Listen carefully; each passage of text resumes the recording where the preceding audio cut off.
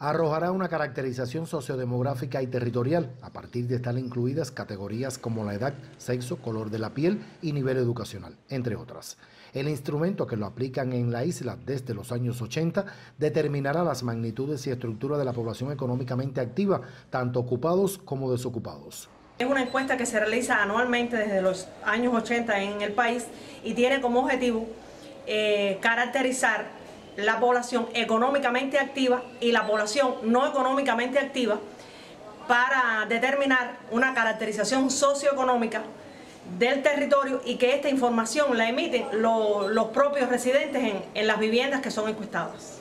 Se prevé que la investigación llegue a viviendas seleccionadas a partir de una muestra que tiene como universo todas las comunidades del municipio. Para ello laboran quienes trabajan en la ONEI municipal. Esa información se emite al Departamento de Demografía, que es uno de los programas que atiende la oficina.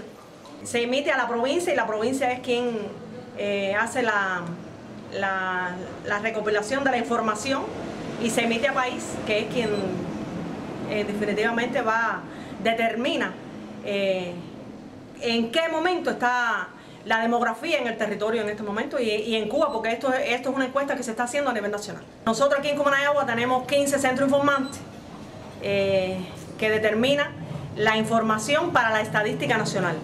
Tenemos otro, otro tipos, tenemos eh, también mm, entidades que emiten información para la, para la estadística territorial.